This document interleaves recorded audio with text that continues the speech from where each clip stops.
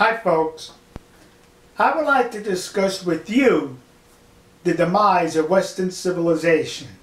Hmm? Let me give you a small example. For this small example, let us travel to the land down under, Australia, waltzing with Matilda. In one school, they held a general assembly. And they told the 12-year-old boys, seventh graders, to stand up. So they stood up. And what they had to do when they stood up was to apologize. Gee, what did these boys do that they had to apologize for? Well, it was the circumstances of their birth. That's why they had to apologize. Because they were born male. And in Western civilization, and its goose stepping towards feminizing the culture, that is a tragedy, a travesty. that that you have males in the culture. So you have to apologize for that. And that's what those little boys had to do. You see what's taking place, folks? All throughout the West, the culture, they're feminizing the culture. Because being a guy is toxic. Being a guy, there's something wrong with it, so you have to apologize. Never mind the fact that if you're a guy or if you're a girl, both genders should celebrate those genders and not criticize the other for being within that gender because they both have value, they both have worth, but not in the West. Nope. Guys, masculinity. Now let's take communist China. They realized that some of their young people, guys, were getting just a little bit too feminine. So what did the commie government do? They established a program to where masculinity will be taught to young boys.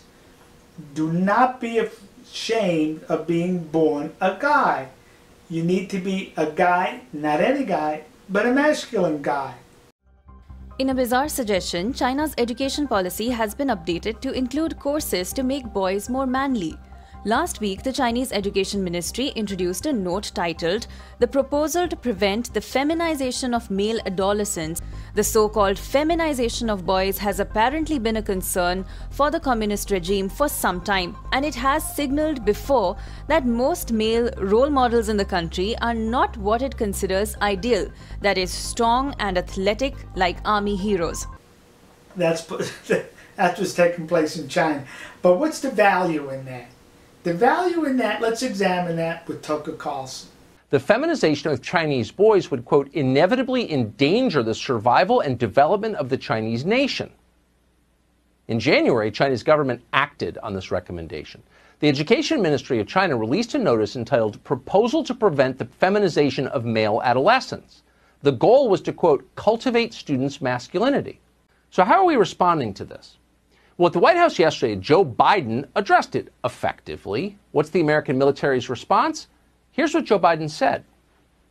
Some of it's relatively uh, straightforward work, where we're making good progress designing body armor that fits women properly, tailoring combat uniforms for women, creating maternity flight suits, updating, uh, updating requirements for their hairstyles and some of it is going to take an, uh, you know, an, an intensity of purpose and mission to really change the culture and habits that cause women to leave the military. So we've got new hairstyles and maternity flight suits. Pregnant women are going to fight our wars. It's a mockery of the U.S. military. While China's military becomes more masculine as it's assembled the world's largest navy, our military needs to become, as Joe Biden says, more feminine, whatever feminine means anymore, since men and women no longer exist. The bottom line is it's out of control, and the Pentagon's going along with this. Again, this is a mockery of the U.S. military and its core mission, which is winning wars. See, that's the value. The value in feminizing the culture is to decrease its military effectiveness. Now let's take for example in the future there's a confrontation between a commie Chinese unit and an American unit, a feminized unit of American feminized men. All the resources, equipment, everything being equal except for the fact that the commies are masculine and the people in the West are feminine. Who do you think is going to come out victorious in that confrontation? The commies know.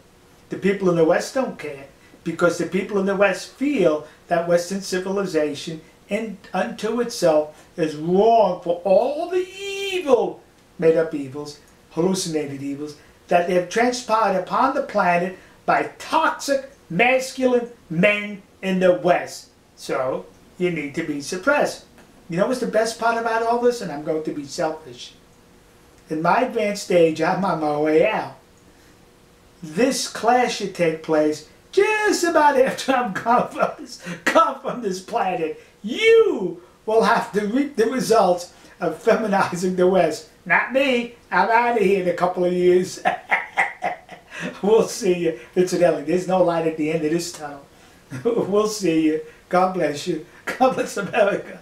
And God bless the nation you happen to be in. see you.